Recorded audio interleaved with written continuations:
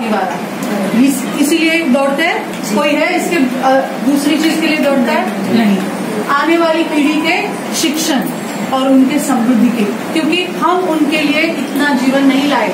हम तो निकल जाएँगे लेकिन हम जाने के बाद का उनका जो जीवन है ना वो हमारे हाथ में आपके हाथ में है? कोई यहाँ परमानेंट वीज़ा लेके यहाँ लेके नहीं आया सब बढ़ोतरी है निकल जाने तो ये जो अन्न वस्त्र निवारा का चीज़ है ना, उसमें से अन्न एक चीज़ है। उसमें दो चीज़ें रहती है बेवरेजेस और न्यूट्रिशन बेवरेजेस का मार्केट कितना है ना, आप सोच तक नहीं सकते। बिस्लरी नाम सुना है? कितने लोगों ने बिस्लरी नाम सुना है? सबने सुना है?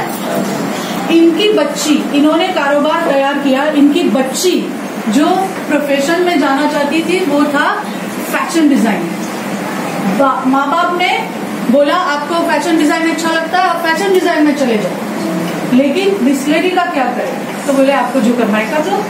तो उन्होंने वो बेचने को निकाली। बिस्लरी बेचने को निकाली। तब खरीदने कौन आए?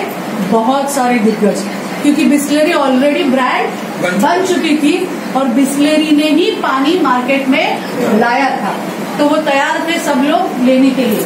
क्योंकि ये बिज़नेस तो चलेगा ही क्योंकि इसका सिस्टम क्या है?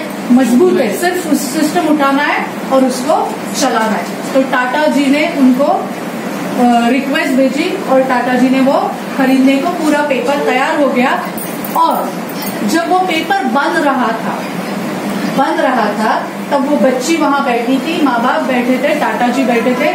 जब लास्ट साइन करनी थी सिग्नेचर कि ये मुझे मैं सब छोड़ के आपको दे रही हूँ। और आप इसके मालिक हो जाओगे। तब उस बच्ची के दिमाग में आया, पिताजी ने तो इतना जीवन पूरा लगा दिया।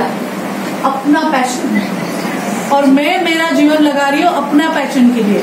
लेकिन जिस पैशन पे उन्होंने जो बनाया है, वह ऐसे ही छोड़ने के लिए जब सिग्नेचर की बारी आई, उस अंगूठे की बारी आई, तब वो हिचकिचा गए और वो टाटा जी के वहाँ देखती और पूछती है क्या मैं ये बिज़नेस चला सकती हूँ।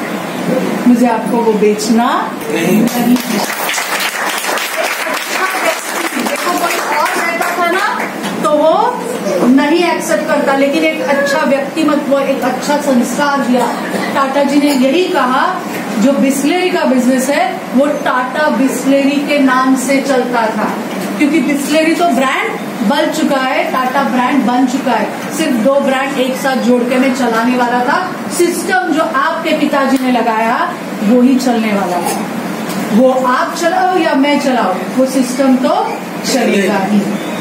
जब उन्होंने कहा कि मैं चलाना चाहती हूँ तो टाटा जी ने उनको वो उनकी कंपनी सुपुर्द कर दी और बोले कि आप करो। लेकिन हाँ बेवरेजेस का बिज़नेस कैसे? बहुत बड़ा है। इसलिए मैं भी बिज़नेस आपको कॉम्पिटिटर के हिसाब से निकलूँगा। कॉपर टाटा पानी मार्केट में आ गया है। आपको पता है कि नहीं पता है टाटा कॉपर ऐसा पानी मार्केट में आ चुका है और उसका उन्होंने बेवरेजेस मतलब पानी में बिज़नेस में हो गया। इसके ऊपर एक और आग थी। तीसरी आग रहती है ना, ये तो दो आँखें हो गई। तीसरी आग भी थी बेवरेजेस पे और उसका नाम है अंबानी। ईशा अंबानी बेवरेजेस में आना चाहती थी। तो उन्होंने अभी क्या कौन सा बेवरेज उन्होंने देखा कि बिस्लेरी तो मार्केट में है। टाटा जी बेवरेजेस में आ गए। कैंपा कोला नाम सुना है किसी ने? बहुत पहले चलता था। बहुत कभी शादी में चले जाते थे उस वक्त खाना खिलाने की हमारी उतनी ये नहीं थी, थी। तो बाटली लेके लोग बैठ जाते थे आराम से पीते थे और निकल जाते थे। वही कैंपा कोला बेवरेजेस के हिसाब से अगर जायंट इंडस्ट्रियलिस्ट जायंट है अंबानी बहुत बड़ा है। वो पानी नहीं छोड़ रहा है वो अगर बेवरेज नहीं छोड़ रहा है तो आप क्यों छोड़ रहे अभी आ रहे हैं। लेकिन डॉक्टर लिम ने बेवरेजेस तीस साल। पहले चालीस साल पहले हमारे यहाँ लाया है। काटो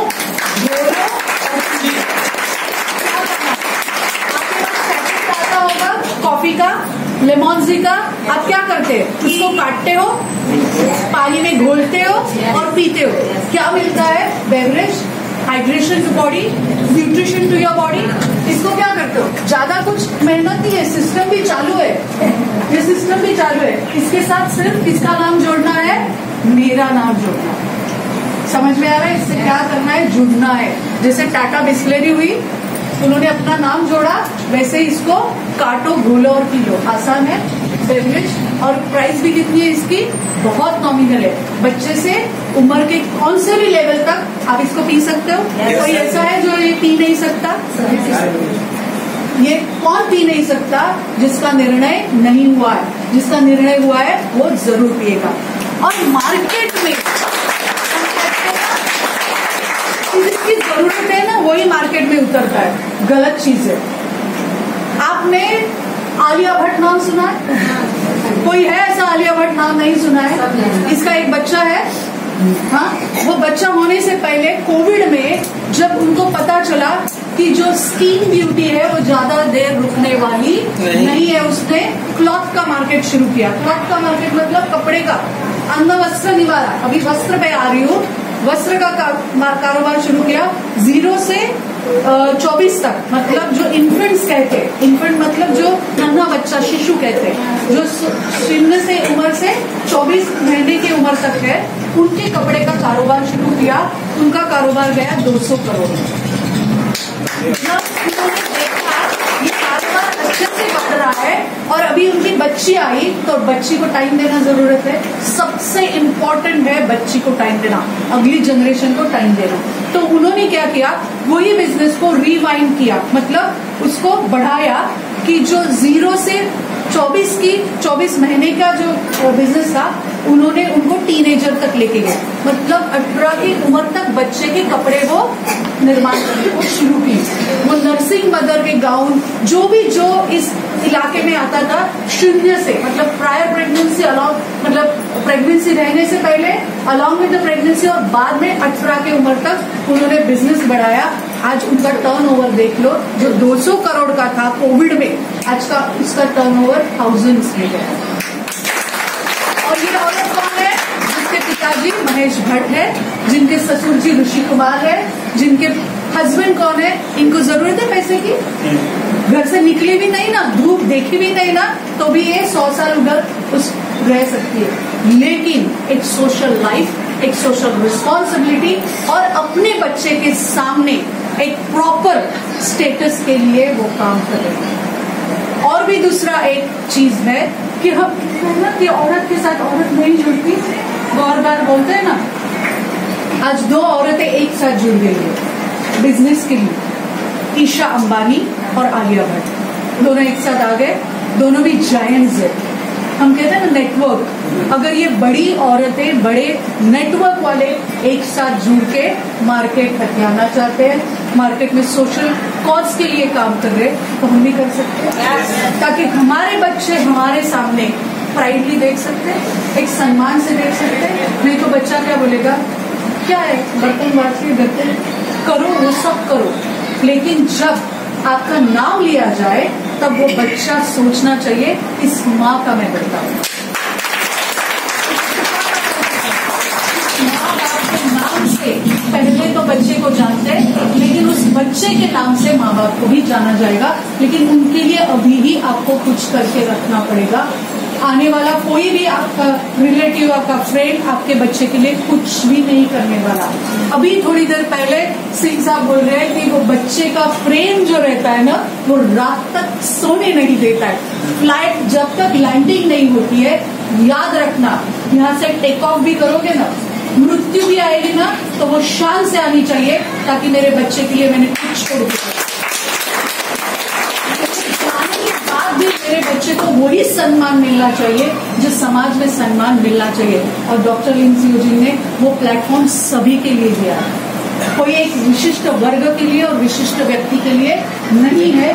जो भी सपना, अपना सपना है, अपना निर्णय है, वो सब लोग यहाँ पे आ सकते हैं, वो बिज़नेस कर सकते हैं और वो साम्राज्य खड़ा करके अपने आने वाली तीन पीढ़ियों तक रख सकते हैं। तीन साल के लिए आए हो या तीन पीढ़ियों के लिए आए हो आपका निर्णय आप कर सकते हो। आदमी नहीं औरत भी कर सकती है। और मैं चाहती हूँ जो भक्ति आप करते हो नवरात्र की है देवी माँ की है जो भी है उस भक्ति को आप शक्ति बना के एक निर्णायक जो है वो अपने बच्चे के लिए ज़रूर छोड़ दीजिए। एक कथा के साथ मैं संपूर्ण करूँगी। कथा चाहते हो? की।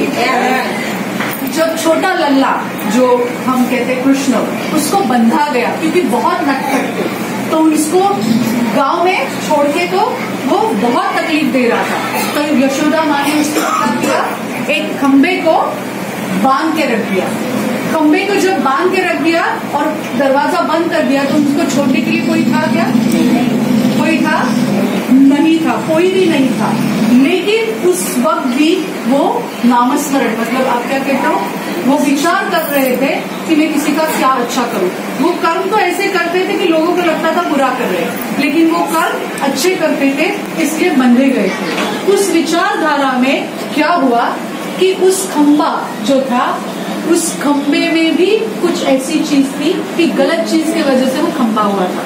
तो उसका उद्धार उस वक्त हुआ, क्योंकि साक्षात कृष्ण भी उसके बंधे हुए।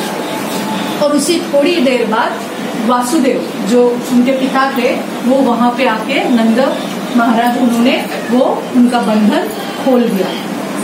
इससे क्या समझ में आता है?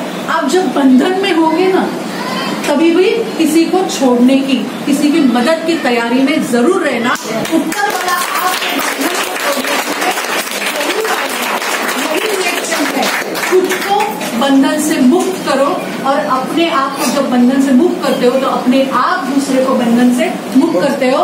और जब ऊपर वाला आपको मदद करता है तो एक शानदार ज़िंदगी जीने के लिए आप तैयार रहते हो। Thank you very much